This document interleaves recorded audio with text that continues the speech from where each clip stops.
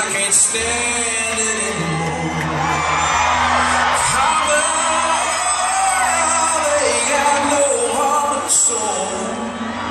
But there ain't no doubt about it, they're the ones that's in control. So prepare yourself for the war like you've ever seen.